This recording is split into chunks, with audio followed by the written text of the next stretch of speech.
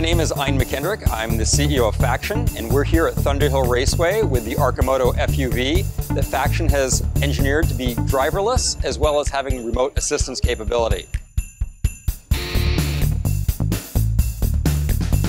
My name is Eric Stafl, president of Stafl Systems. You're here in sunny South San Francisco at our headquarters.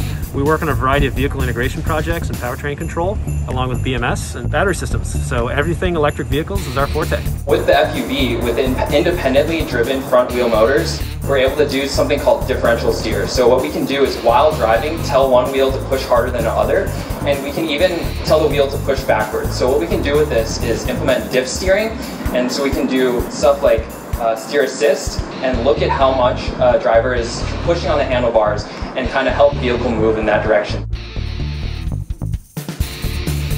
We actually started this, this three-team collaboration almost at the same time. Well, I just want to say uh, how proud I am to work with you guys on this set of programs. All right, let's bring it in. All right. Let's bring it in.